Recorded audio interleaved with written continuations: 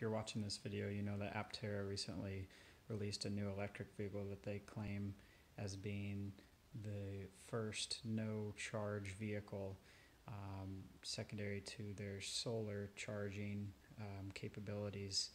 These vehicles range from twenty-six to forty-six thousand dollars, and I wanted to kind of do some math behind that to see how long it would take to pay that off compared to a gas vehicle, and essentially uh, equal out to free driving. So approximately every year, an average person would drive ten to fifteen thousand miles.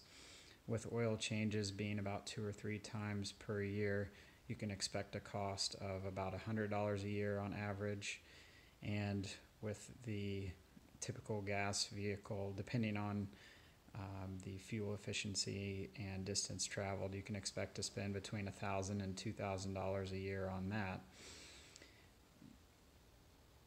The average person also drives about 30 miles a day, and with these new solar charging capabilities while your vehicle is parked, you can expect to get 45 miles from this solar charging.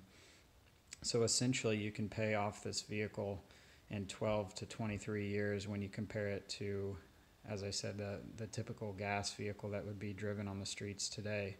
Um, the average person keeps a vehicle about six to 10 years.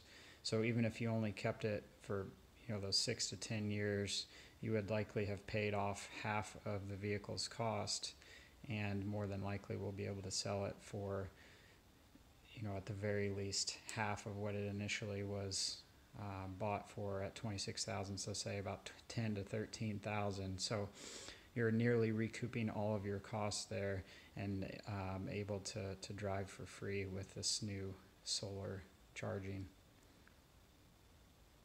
if you do um, end up wanting to purchase an Aptera vehicle, please consider using my referral code in the link below.